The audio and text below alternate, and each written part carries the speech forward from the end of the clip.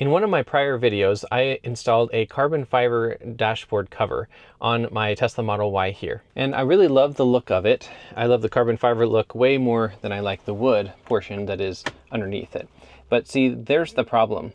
I can lift up this cover really easily. And over here on this side, it doesn't stay down at all because it's slightly too narrow. So it just constantly has stayed up and actually has been up worse than this in the past, but when I installed this screen right here, it helps to hold it down better, but it's still not a very great solution. And I also like that, of course, it comes with these side pieces that cover the door, but these also don't stick very well. So the double-sided sticky tape that this came with is just awful. And you can see it just pops right back up now because it's gotten enough grit on it in the back. And this one on this side is loose enough that it kind of rattles as you drive. So I haven't been super happy with this. I like the aesthetic, but I don't like how it just does not stay attached to the surfaces very well that it is supposed to stay attached to. So when Tesstudio reached out to me and offered their carbon fiber dashboard, and this is where the whole actual dashboard is carbon fiber and you replace the dashboard rather than just put a cover on it, I took them up on their offer because I thought, hey, this is going to look a lot better and it's going to be an actual dashboard replacement rather than just a facade put on top of it. And it comes with the side pieces for the doors as well. This is the box that they shipped to me. It comes with their Tesstudio booklet that has a variety of other products in it that they sell. And you can of course go look on their website and see all these same products. And then they have a good half inch of foam here on top and then good foam suction here to protect the pieces inside. So this right here is one of the door pieces. And they said this is 3000 count carbon fiber. You can see this is all the mechanical parts on the back that will attach it into the car, actually replacing the door piece that is normally there, that is wood. And this looks really nice. And I got the matte finish. They have one that's glossy as well. And then here is the other piece for the other door, of course and that also looks really nice. This looks like it's just a factory part, but it just comes with carbon fiber instead of the wood trim. And then last but not least is the dashboard itself, which is the main event, of course. It's the biggest part. It looks really nice. Just like the door pieces, it looks like it's straight out of the factory. It just has carbon fiber instead of wood. Here you can see a cutout for where the steering wheel goes, and this is a cutout for the center display. And then this is the underside of it, and it just has all of the same channels and everything you would expect from a factory dashboard. So I'm going to work on removing the old dashboard and then I will get this one installed. The first thing to do is put a pry tool right here and just pry out from this bottom point and you can see that there is a clasp right there that we just popped out. Now there are two more right here, but let's just take the whole dashboard off first and then we'll take those off when we can see things better. And here's an example of how this has been looking on the outside. And also the same for the other side. And now after popping off those lower points, all we need to do is open the glove box. And then with this edge now exposed, you can just lift up on it and it will lift up the dashboard just like that, pop it up all the way across, and then you can lift it out. And then after getting those points pulled up, you should be able to just kind of gently, carefully lift up on this dashboard piece and lift it out. Now in my case, I have this aftermarket display installed, and as you can see on the bottom there, it is screwed on. This is what it looks like underneath where the dashboard goes. You can see that I have some wires there from my screen, but otherwise this is just where the normal air channels go. That is how the Tesla was designed. And we will need to be using this triangular piece on the end still because the new one didn't come with these. So I'm gonna pop these off. I've finished taking the display off of the old one. So this is the old dashboard. This is the new carbon fiber one up here.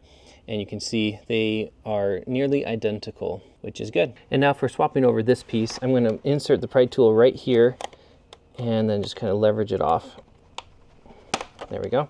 And then we'll just switch that right over here and pop it back on. As simple as that. And then for the same thing on this side, I'm just using the same pry tool, pop that off and then switch it up here, pop it on just like that.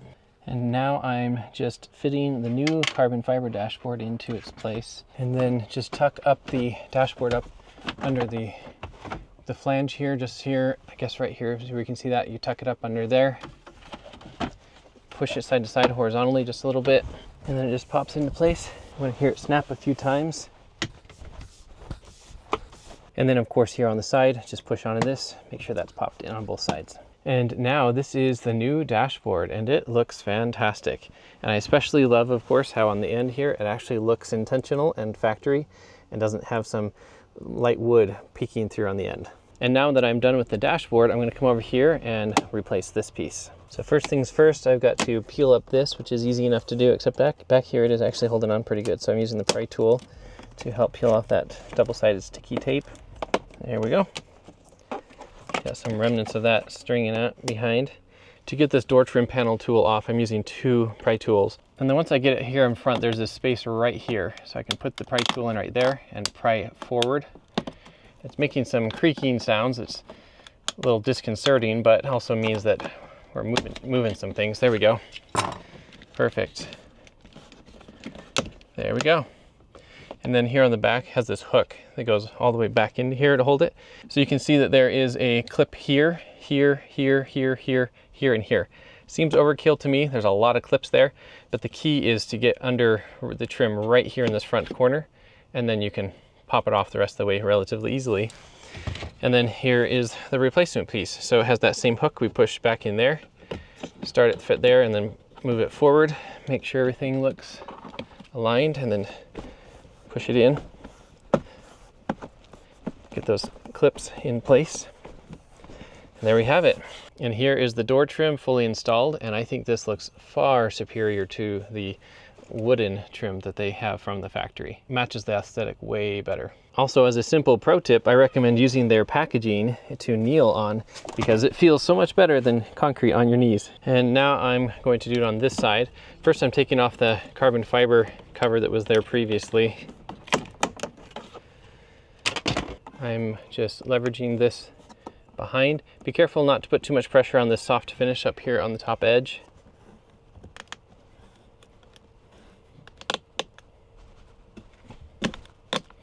In this case, it's being pretty persistent up here in the front. So coming across the bottom, I was able to get into it back here and now pop it off. There we go. And now to put in this new one, just hooks in right there. Pops in really easily compared to how hard it is to get off. And there is the end result of this passenger side door panel. And it looks great. And this is what it looks like completely finished inside the car all the way around and I really just love this, this aesthetic. And considering that I just replaced three parts in the car and I could do it in just a short amount of time while I'm also filming, this is a really simple install to do. It's helpful to watch some videos online, such as mine, to just see where to pry and where to, you know, pop those um, fixtures loose. And also to pop those fixtures loose, it requires a pry tool, which it doesn't come with. So keep that in mind. You may want to buy a pry tool prior to taking these off. But once they're on, now they look completely factory. It's the actual factory part from Tesla that has carbon fiber there instead of wood. And so it looks really good and clean and I love the aesthetic and how it matches the car. Now some things to note about this dashboard and the door trim panels is that they are 100% handmade and they are made with real dry carbon fiber materials. Like I said before, they are 3000 count carbon fiber. The matte finish on them is helpful to keep fingerprints at bay rather than the glossy finish. And I quite appreciate that because my kids get their fingerprints everywhere. If you're interested in picking up this dashboard and the door panels for yourself, I will include a link in the description below that will give you 22% off. With that, thanks for watching and I will see you in the next video.